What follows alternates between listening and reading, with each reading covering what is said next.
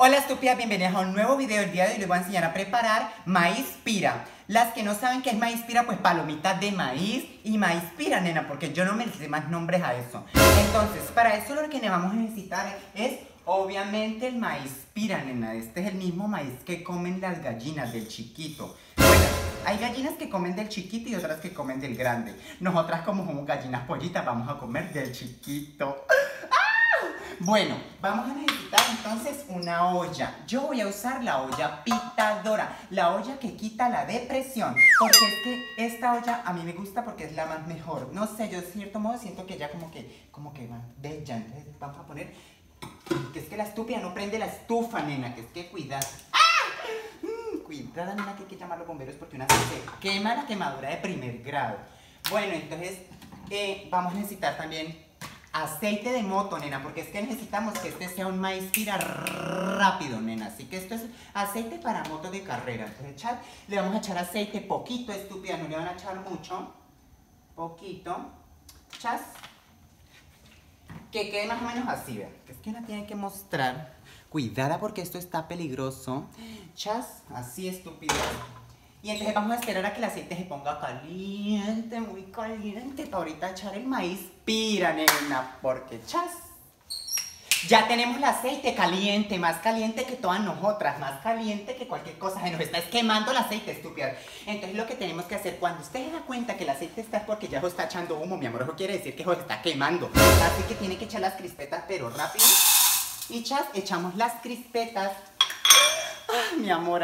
Entonces ahorita lo que tenemos que hacer es tapar la olla, porque si usted no tapa la olla, si usted no tapa la olla, mamita, corra como volador sin palo, porque eso empieza a explotarle. Entonces vamos a tapar la olla rapidita antes de que eso empiece a explotar, porque ya empezó. ¡Ah! Necesito ver un tutorial para tapar una olla pintadora porque yo no sé.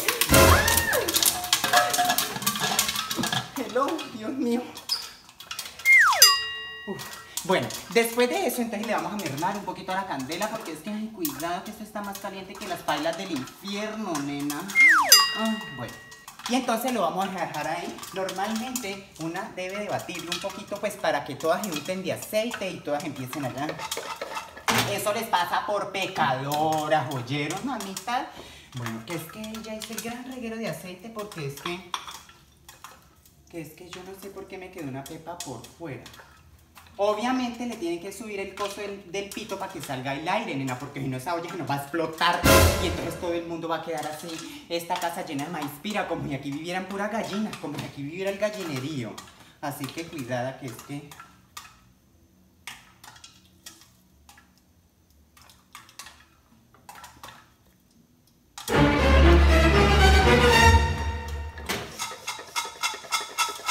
lo batemos y nos damos cuenta de que todavía le faltan pepitas como por reventar. O sea, las que son lentas, ellas son lentas para reventar. cuidado. Si usted es menor de edad, no intente esto solita en casa. Esto tiene que hacerlo en compañía de una adúltera, mi amor. Porque es que cuidado que estas las cosas con la candela y el aceite son peligrosas. Listo, entonces ya estuvo nuestra maíz pira. Ahorita vamos a destapar la olla y le vamos a echar el azúcar y le vamos a echar de todo lo que uno quiere. Es que, es que la que no sabe destapar una olla. Listo, así ha quedado nuestro maíz pira. Entonces ahorita lo que tenemos que hacer es, yo normalmente le echo azúcar. Esta es la vaca dispensadora de azúcar. Ella no da leche, pero sí da azúcar. Entonces le echamos azúcar no muchas, estúpidas, no muchas porque nos da la diabetes. Ya le echamos azúcar, aprovechando de que como esto está calientico, entonces el calor va a derretir el azúcar por el efecto invernadero, el eclipse, le pega al sol y se contrasta y entonces por eso uno nace con los ojos verdes. Eso no tiene nada que ver con el azúcar, pero entonces uno nace con los ojos verdes. Ahorita entonces le vamos a echar aquí un poquito de sal, poquita. Si usted no tiene sal, pues puede ir a pedirle a la vecina normal, mi amor. Entonces ya, ahorita sí entonces la vamos a revolver.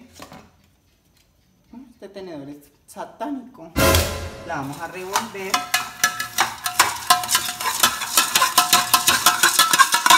Sin hacer mucho ruido, nena. Ustedes no pueden hacer mucho ruido simplemente haciendo crispetas. Listo. Ahorita sí, entonces vamos a buscar una vasija en donde servirla. Y lo que no nos puede faltar, obviamente después de tener nuestra vasija, mm, no nos puede faltar, nena, la limonada. Porque es que, nena, uno le da en el ganate y una tiene que bajar con algo. Entonces, ahorita sí. Si usted quiere ser profesional en la cocina, al menos haciendo crispetas estúpidas, si usted quiere verse profesional por al menos una vez en la vida en la cocina, tiene que sacar las crispetas con una cosa de estas. Entonces, servimos las crispetas, mi amor. Servimos las crispetas. Si usted es hambrienta, normalmente lo debe servir así, con morro. Y sin hacer regueros estúpidas. Listo. Ahorita la vaso.